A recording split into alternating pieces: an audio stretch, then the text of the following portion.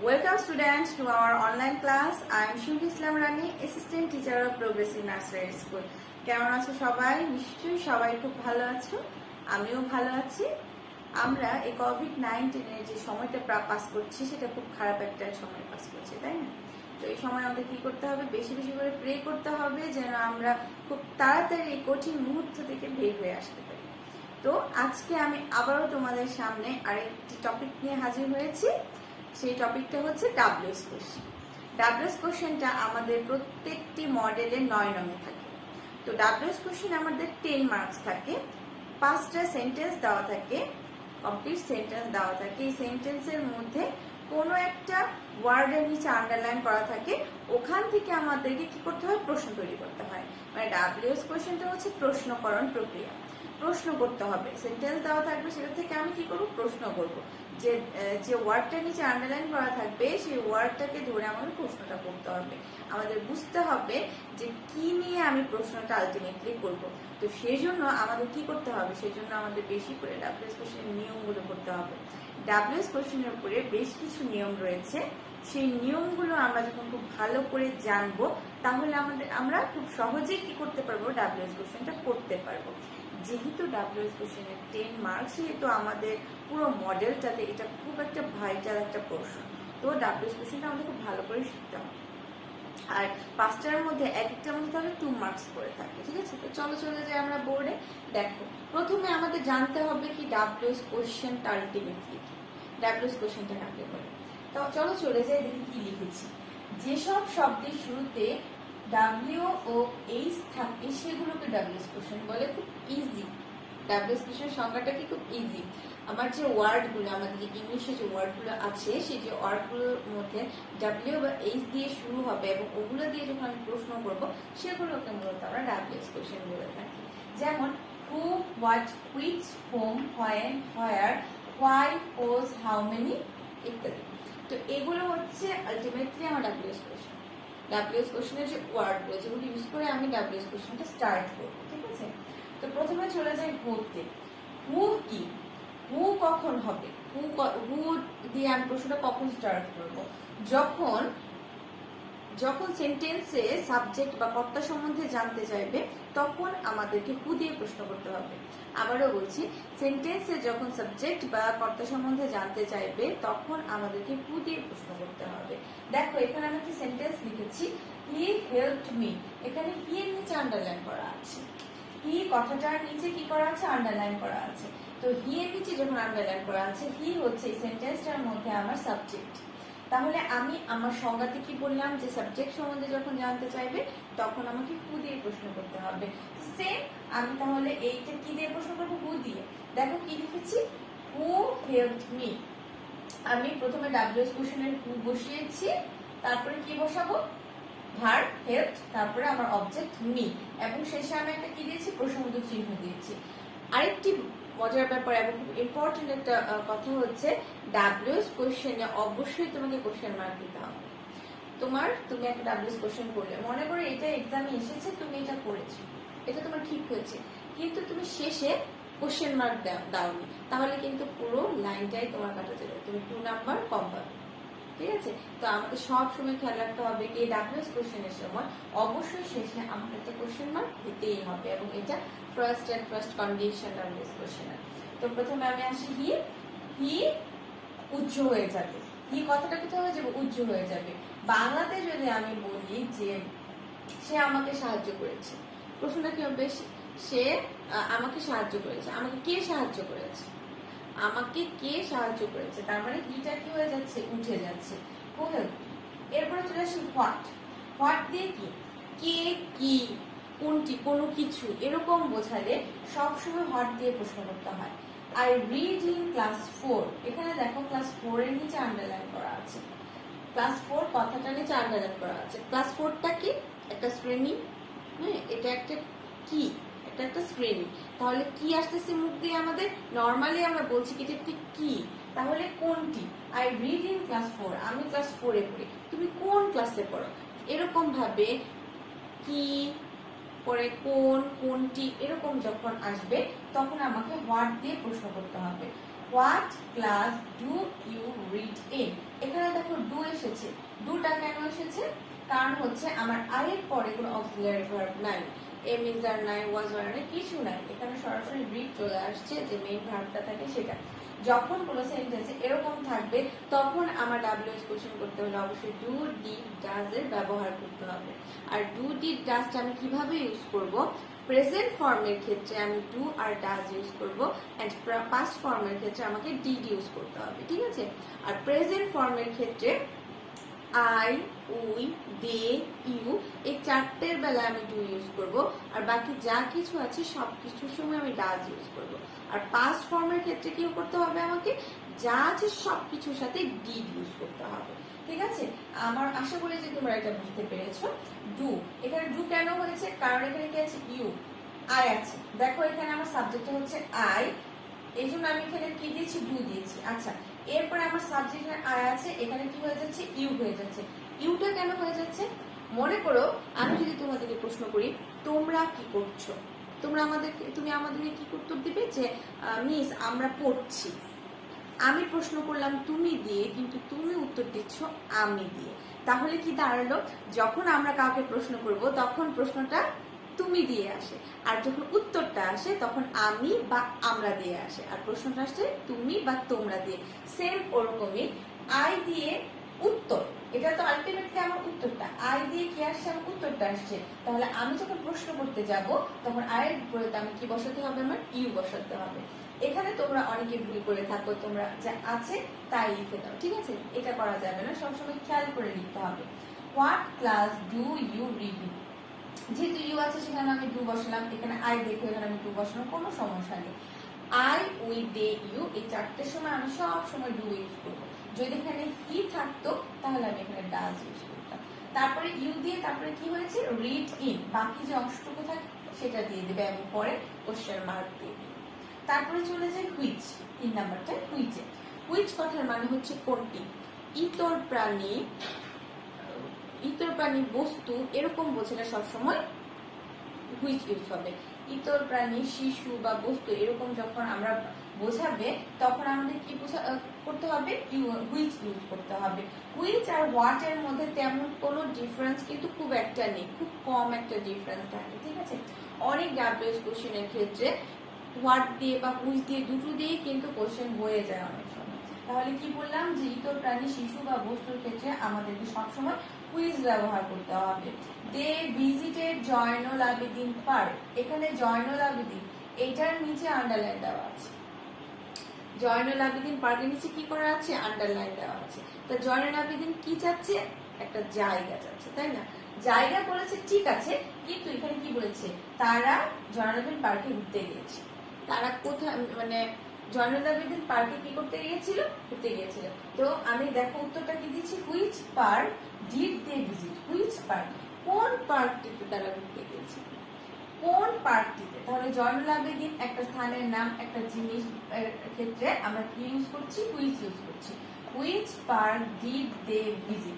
এখন দেখো প্রথমে আসছে হুইচ ডাব্লিউএস কোশ্চেনের হুইচ। তারপরে আসছে কি পার্ক? তারপরে আসছে ডিড ডিড কেন আসছে বলতো? কারণ হচ্ছে দে ভিজিটেড এখানে ভিজিটেড কথা দিয়ে বোঝাচ্ছে যে আমার সেন্টেন্সটা পাস্ট ফর্মে আছে। আমি প্রথমে বলেছি কি সেন্টেন্সটা যখন পাস্ট ফর্মে থাকবে, তখন সব কিছু সময় ডিড ইউজ হবে।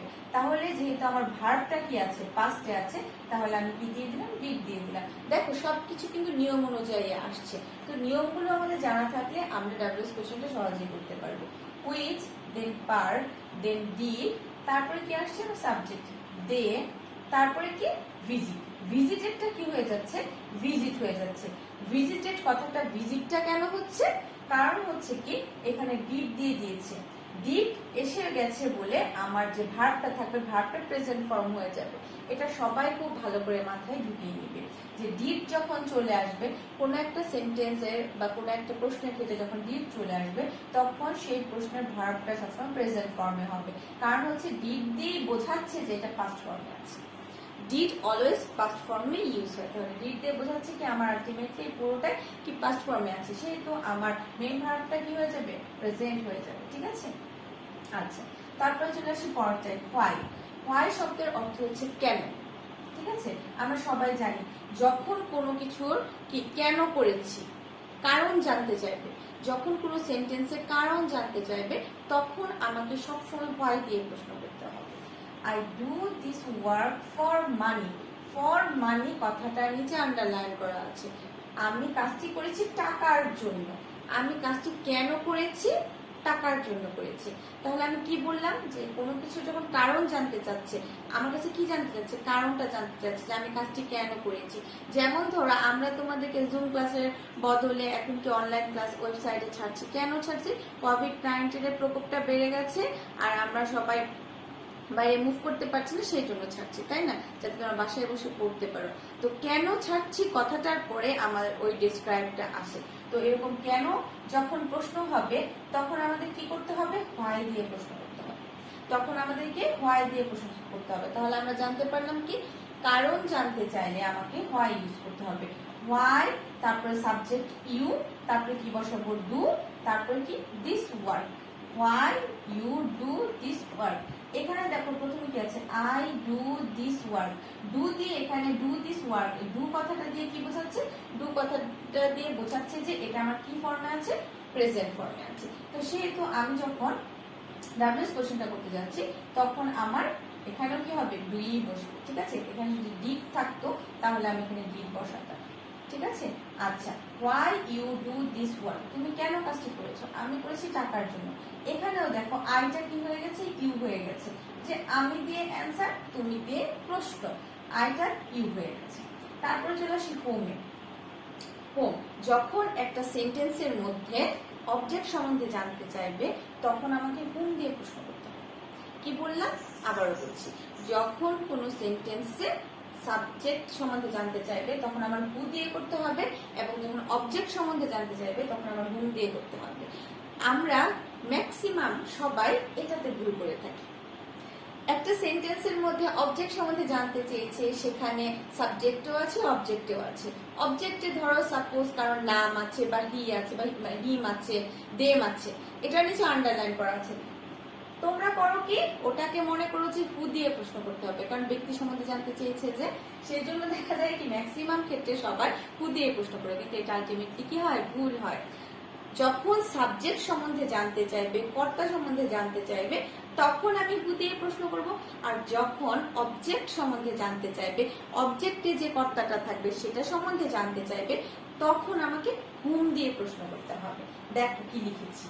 আই ওয়ান্ট রহিম আমি রহিমকে চাই। এখানে দেখো আই দিয়ে কি বোঝাচ্ছে? সাবজেক্ট রহিম দিয়ে বোঝাচ্ছে অবজেক্ট অনেকে রহিম দেখে হু দিয়ে প্রশ্ন করে ফেলবে। কখনোই সেটা করবে না। খুব ভালো করে সেন্টেন্সটা লক্ষ্য করবে যে আমার সাবজেক্ট আছে কিনা। দেখো এখানে সাবজেক্ট আছে আই আই এর নিচে যদি আন্ডারলাইন করা থাকতো, তাহলে আমি হু দিয়ে প্রশ্ন করতাম, যেহেতু আই এর নিচে আন্ডারলাইন করা নেই, রহিমের নিচে আন্ডারলাইন করা, সেজন্য আমাকে কি করতে হবে? হোম দিয়ে প্রশ্ন করতে হবে। তো ফার্স্টে দিব কি? হোম। তারপরে কি, যেহেতু কিছু নেই আমি যার ওয়াজার কিছু নেই, সেহেতু আমি নিয়ম অনুযায়ী ডু কারণ এখানে আই আছে। আয়ের সাথে কি হবে? ডু হবে। আর আইটা তখন কি হয়ে যাবে? ইউ হয়ে যাবে। হোম ডু ইউ ওয়ান্ট তুমি কাকে চাচ্ছ? আমি রহিমকে। ঠিক আছে? তাহলে হু আর হুমের মধ্যে যে পার্থক্যটা সেটা আমি আশা করি তোমরা বুঝতে পেরেছ। তারপর চলে আসি হোয়ার হোয়ার কখন ইউজ হয়? যখন জায়গা সম্বন্ধে জানতে চাই কোনো একটা জায়গার নিচে যখন আন্ডারলাইন করা থাকবে, সেটা যে কোনো দেশের নাম হতে পারে, জেলার নাম হতে পারে, কোনো একটা জায়গার নাম হতে পারে, তোমার বাড়ি, স্কুল কলেজ যে কোনো একটা কিছু জায়গা সম্বন্ধে। নিচে আন্ডারলাইন করা থাকবে, তখন আমাকে হোয়ার দিয়ে প্রশ্ন করতে হবে। আর হোয়ারটা ম্যাক্সিমাম সময় প্রত্যেকটা ডাব্লিউএস কোশ্চেনে কোনো না কোনো ভাবে থাকে। আই ওয়েন্ট টু স্কুল আমি কি? স্কুলে গিয়েছিলাম। আই ওয়েন্ট টু স্কুল এখানে দেখো টু স্কুলের নিচে আন্ডারলাইন করা আছে। তার মানে স্কুলটাকে একটা স্থান, জায়গা বুঝিয়েছে। তো জায়গা যেহেতু বুঝিয়েছে, সেহেতু আমি হোয়ার দিয়ে প্রশ্ন করব। তো ফার্স্টে কি লিখব? হোয়ার তারপর নিয়ম অনুযায়ী ডু ডিড ডাস যেটাই ইউজ করি। এখন দেখো আই এর পরে কি আছে? ওয়েন্ট আছে। ওয়েন্ট কি? পাস্ট ফর্মে আছে। ওয়েন্ট কথাটা হচ্ছে আমার পাস্ট ফর্ম তাহলে আমার ডাব্লিউএস কোশ্চেনের প্রশ্নটাও কি হবে? পাস্টে হবে। তাহলে আমি কি ইউজ করব? ডিড ইউজ করব। আর যদি এখানে গো কথা থাকতো আই এর পরে যদি থাকতো আই গো টু স্কুল যদি গো থাকতো, তাহলে আমি ডু ইউজ করতাম। যেহেতু আমার এখানে ওয়েট আছে, সেহেতু আমি কি ইউজ করেছি? ডিড হোয়ার ডিড আইটা কি হয়ে গেছে? ইউ হয়ে গেছে। হোয়ার ডিড ইউ আর ওয়েনটা কি হয়ে যাবে?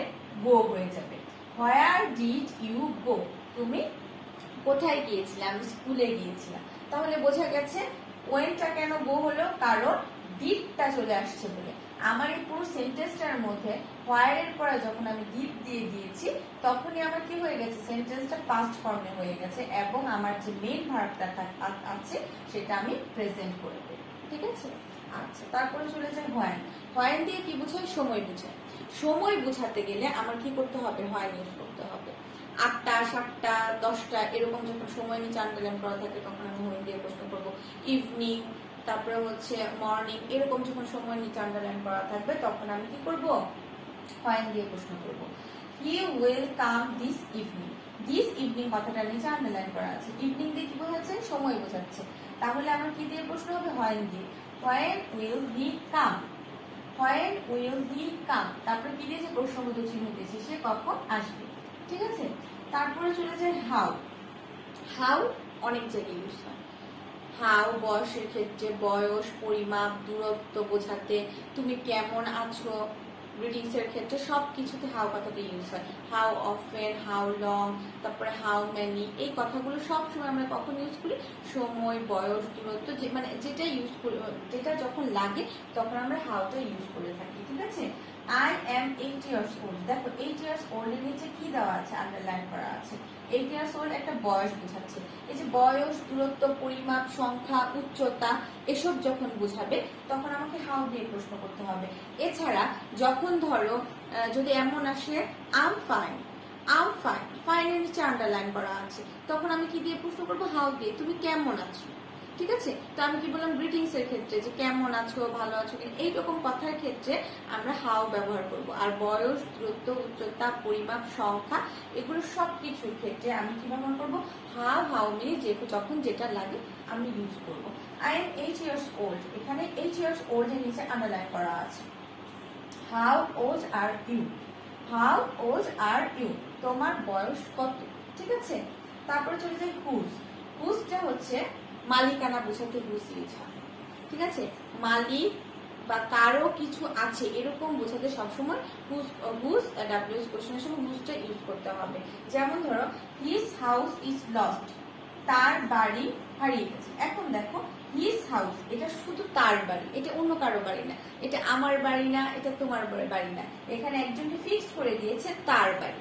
এরকম যখন মালিকানা বোঝাবে বা কারও বোঝাবে, তখন আমরা কি ইউজ করব? তখন আমাদের হুজ ইউজ করতে হবে।